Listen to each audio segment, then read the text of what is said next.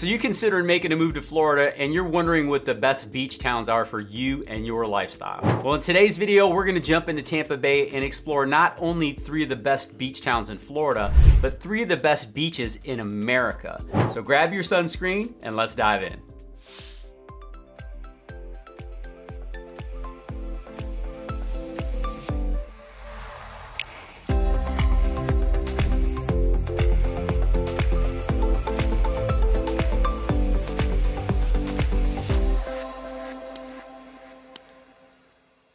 If we've never met before, my name is Juan Alcala. We make videos that are all things Tampa Bay. What it's like to live here, what it's like to work here, what it's like to play here, the food, the dining, the outdoors, the beaches, and the sunshine. I'm also a licensed real estate agent and I help people just like you buy, sell, relocate, and invest here in the Tampa Bay area. If you're into that type of thing, make sure you hit that subscribe button and click that little bell. That way you can be notified every time we drop a new video.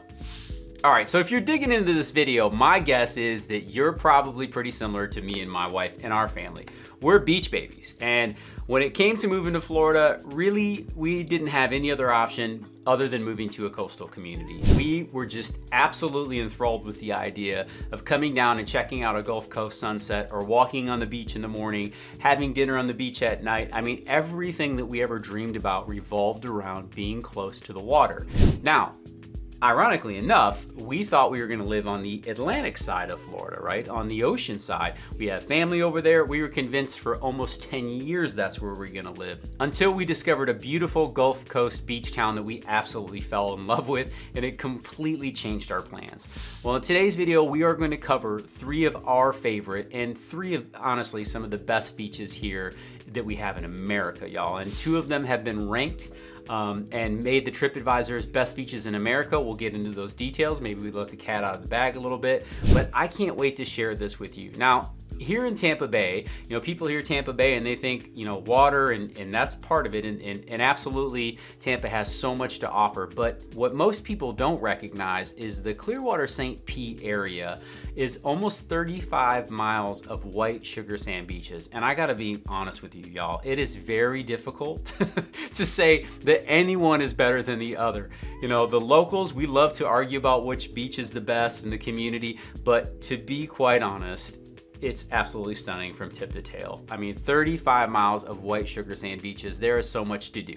However, there are differences and we are gonna cover some of those today because honestly, I think if you chose any of these, you're going to be happy with your decision. But hey, one of them might be a better fit for you, so let's get into them. So first on our list is the world-renowned Clearwater Beach. Now, Clearwater has been recognized by TripAdvisor as the best beach in America, and it's always in a dogfight with beaches like Siesta Key and St. Pete Beach and Treasure Island. I mean, these things are going round and round here in Florida, and it is absolutely gorgeous. But one of the things that really is attractive about Clearwater is all the amenities that it has. Clearwater is about two and a half miles long of white sugar sand beaches. It has beautiful clear blue water, hence the name Clearwater. It's got so many restaurants and shops and boutiques, but you also have the Florida Aquarium, you've got the pier, Pier 60, which is beautiful. There's all kinds of nightlife and incredible hotels in the area as well. One of the things that is a little bit unique about Clearwater Beach is it does allow for some short-term rentals, which isn't commonplace in a lot of our coastal communities. Um, and what I mean by short-term is overnights. Uh, most of the beach communities are a seven-day minimum, um, which is a little bit longer uh, stay for for families or for um, you know people coming in the weekend. It's not an overnight type of thing, but there are areas in Clearwater that do allow for that. Clearwater Beach has about 7,600 residents in total. Um, beautiful area. I mean, you can go on dinner cruises, you can go on paddle pub tours, you can go jet skiing, you can rent a boat, you can go sport fishing out of Clearwater Beach in the marina there. There's just so much to do. Now, one of the things to take note of living in Clearwater, it is a tourist destination in the United States. So during season in the winter, you know, from February to, especially in spring break time, right? So February through basically uh, Easter, it can swell. There's a lot of tourists that come to the area, so just be prepared for that if you live in the area. All right, now if you wanna buy a home on Clearwater Beach, that's gonna set you back about $910,000. And the average home is a 1,580 square foot, two bedroom, two bath. Now asking prices range from $250,000 on the low end to 6.9 million as of today, but can go much higher. And if buying a $910,000 beach home isn't in your budget, if you drive just over the Clearwater Causeway into the city of Clearwater, you can find a reasonably priced home right around $425,000. All right, now we're gonna head south to TripAdvisor's 2021 Best Beach in America. And if you hadn't guessed it, it is St. Pete Beach. This beach is the quintessential old Florida laid back lifestyle. When you think of flip flops and sunshine and sunsets, to me in my mind, I immediately think of St. Pete Beach. I mean, it is a laid back vibe. You've got wonderful bars and restaurants, the Rumfish Grill. I mean, there's so much to do down there. And if you've never seen the Don Cesar Hotel, man, you got to check it out. This thing is a hidden gem, and um, not everybody knows about this. This is why I say it's hidden, but it's a landmark. This beautiful pink hotel, you can see it when you're out on the Gulf Coast, and when you're looking down the coast and you're just looking south, you can see it. It pokes out at the end of St. Pete Beach, and it's just this stunning hotel. And as you come up to it, the driveway actually goes up. There aren't many hills in Florida, y'all, but the driveway to the hotel takes you up a few stories um, and it is just one of those incredible grand entrances that you've just got to see. You know, you've got the Trade Winds Resort right next to it, and the beach is just absolutely stunning. We have friends and family that come down every year, and they come stay in St. Pete Beach, and they just absolutely love it. And most people um, who have that laid-back flip-flop lifestyle, they find this beach extremely attractive. With great parks like Fort DeSoto, which actually has one, uh, one of the two dog beaches in St. Pete Beach. You've also got Shell Key and Egmont Key, which is a wildlife refuge. There's just so much beauty in this area that is so attractive to a lifestyle. I mean, when you go to Egmont Key, like it is like you're out in a whole different world. All of a sudden, the entire world slows down. You lose all of the city vibe. And again, St. Pete Beach is not like big city like Fort Lauderdale, Miami by any stretch of the imaginations. It is old Florida. But when you get out into Egmont Key, all of a sudden, I mean, the whole world just disappears. It's absolutely incredible. And don't sleep on Treasure Island, which is another beach that makes TripAdvisor's best beach in America regularly. It's absolutely beautiful. I mean, St. Pete Beach is spoiled rotten. With all of these gorgeous beaches up and down, you cannot go wrong. St. Pete Beach has about 8,800 residents, and if you're looking to pick up a home there, it's gonna cost you right around $914,000. It's a two bedroom, two bath, 1,556 square foot home. Asking prices currently range from $189,000 for a condo all the way up to 15.6 million for a stunning single family home. And if that $914,000 is a little bit steep for your budget in St. Pete Beach, you can jump over to the city of St. Petersburg and pick up a home for right around $395,000. And if you're watching this video and you have explored the Tampa Bay area and our beautiful Gulf Coast beaches, I would love to know what your favorite beach is down below. I know these lists are so hard to make because trust me, there are beautiful beaches for 35 miles here, y'all. It's the dirty little secret about Tampa Bay.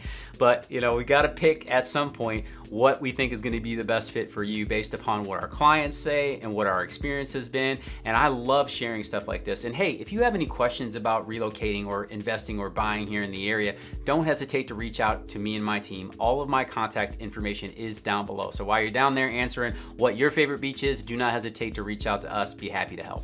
And last but not least on this list is none other than Indian Rocks Beach. And the interest of full disclosure, this is our beach. And y'all, I started out this video by telling you that we had a beach town just absolutely steal our heart, and it was Indian Rocks Beach. Again, we thought for almost 10 years we were gonna live in the Port St. Lucie, Stuart Jensen Beach area because that is all we ever really knew. And when we came over here, it literally just, it, it just stole our heart, man. Like we walked out onto that beach, we looked at that Gulf Coast sunset, the white sugar sand, the, the smooth, calm waters of the Gulf. They were nice and warm and it just absolutely changed everything about what we thought we were doing when we were gonna come move to Florida. And it's been almost five years now. And I gotta be honest with you, you know, we've had some challenges here in Florida because Florida's Florida, right? We've got strong storms and hurricanes and all kinds of things that can happen here. Um, and there's always tourism going on and there's a lot of things happening. But the one thing I'll say is this, the people and the culture and the flip-flop lifestyle, like we came for that you know, when we moved down here, y'all, I retired my suits. They literally have sat in the closet. My wife just asked me if she could get rid of them because we have not wore them, not a single time since we moved down here, because we moved here for the lifestyle. And I know anyone who's still watching this video, you're watching this video because of lifestyle. And let me just tell you, Indian Rocks Beach is special to me. You know, we don't have big, tall buildings. There's only a couple uh, condos that, that are even over three stories. Um, and the rule here now is you can't make a building that's over three stories. They've done a really good job of preserving the line of sight. So as you're coming over the bridge, you can still see the coast. And, you know, our beach is not littered with huge, tall uh, high rises like Clearwater Beach is. And Clearwater is beautiful. It does its own thing. But the unique thing about Indian Rocks Beach is that Belleair Shores is just to the north of us, which is a private community. There's no commerce, there's no restaurants, there's no gas stations, any of those things on the Gulf Boulevard there. And what that does is it quiets all the noise from Clearwater because it goes Clearwater, Belleair Shores, and then Indian Rocks Beach. And it makes our beach feel very, very quaint. And as you travel south, the beaches start to get busier again as you get into Redding, Redington Shores and um, Indian Shores and Madeira Beach. And nothing wrong with that, but just understanding there's a different vibe about them. And the thing I love about Indian Rocks Beach is I can drive down there on a Tuesday, get public parking, walk right out and go have a sunset and not really be bothered by a whole lot. Um, and it's pretty private in that respect, but we still have access to all of the wonderful amenities that you expect. I mean, you can't drive more than three miles in the state of Florida and not have hit a Publix. I say that tongue in cheek, but when you're on the coast, it definitely is, is like that. So we have fallen in love here. We've raised our three children here. They love the beach. We've met so many families that have come for the same reason as us. And if you're a beach baby or a boater or a fish, you know what being on the coast is all about. You recognize the sense of community that comes along with it. And I hope to convey that at some level. And again, it's so hard to say that one of these beaches is better than the other or they're not because they all live so similar. But the thing for us with Indian Rocks Beach was just the how quaint it was. It really did feel like old Florida without all the crazy uh, tourism and hotel. And we still have that, y'all. It's still here. But because we don't have a public parking structure in Indian Rocks Beach, it's very difficult to have this immense overwhelm. So, you know, again, it gets busy. I'm not saying it doesn't, but it never feels crazy like Clearwater or St. Pete Beach. Again, nothing wrong with those beaches, but just recognizing if you're looking for a more laid back lifestyle, it's definitely going to be Indian Rocks Beach. Um, taking the top of that list, then St. Pete Beach, and then Clearwater, because Clearwater is just busy. But if you're looking for that nightlife activity, things popping off all the time, it's definitely gonna be Clearwater, then St. Pete. And my hope is that this just really lends some perspective so you can make the best decision for you and your lifestyle. Indian Rocks Beach is definitely the smallest community of the three with 3,700 residents. It's gonna cost you right around $910,000 on average, but you do get a three bedroom as opposed to a two like the other two beaches. It is still a two bath and it's 1,611 square feet. So 50 square feet more. Just a little bit, right y'all? And asking prices currently range from about 304,000 all the way up to 9.7 million. Well, I hope this was extremely helpful for you. The one thing I would recommend beyond anything else is get your behind on a plane, come see these beaches because you know what? These three beaches might not be the right one for you. My guess is you're gonna love them, but we have 35 miles of beautiful sugar sand beaches here. We've got great communities like Treasure Island, Madeira Beach, Indian Shores, North Redington. I mean, there's so many beautiful communities here. You are not gonna be disappointed. If you have any questions, do not hesitate to reach out to me and my team. I'm gonna put two more of these videos up here exploring these beach communities we talked about today. I hope you enjoy them. And until next time, go out and live that Tampa life.